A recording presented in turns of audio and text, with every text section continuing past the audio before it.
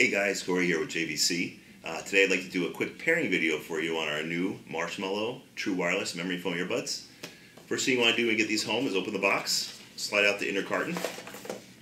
You'll see you have a charging case, left and right earbuds, a micro USB charging cable for the charging case, and some additional ear tips.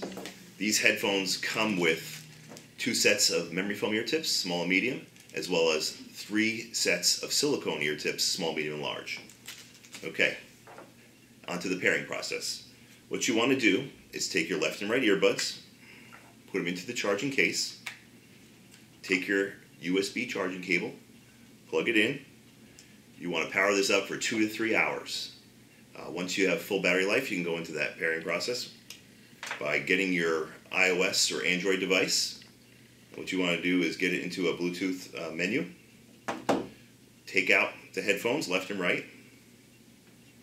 What you'll see is the right side will blink three times white as it connects to the left side. The left side will flash red and white as it's in the pairing mode. What you want to do is look for part number JVC HA A10T. Click on that. Give it a few seconds and you're all set. Simple as that. Now, if for some reason you want to connect a second device, all you have to do is go into that Bluetooth menu and turn it off. As when you put these back into the charging case and take them out, they will automatically connect the next time.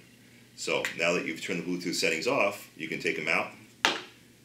It'll go back into a pairing mode. So get your second device, pair it up, same way as the first time, and you'll be good to go. If for some reason you have any issues with these headphones not pairing properly, you can actually restore them to the default mode. The way you do that is take the headphones, push a button to turn off each unit.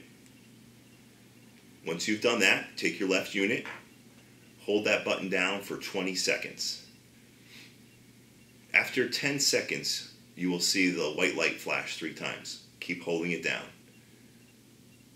After 20 seconds, it will flash white light three times again. Then you're back into the default mode. Put it into the charging case. Do the same thing with the right side. Hold that button down for 20 seconds. After 10 seconds, you will see the white light flash three times. Keep holding it down. After 20 seconds, it will flash white light three times again. You're back into a default mode. Move into the charging case, and you're ready to go. Open it up, take them out, pair them up to your device. Uh, if you have any issues, look and look on our website, jvc.com, for more information. And I appreciate you guys watching. Thanks.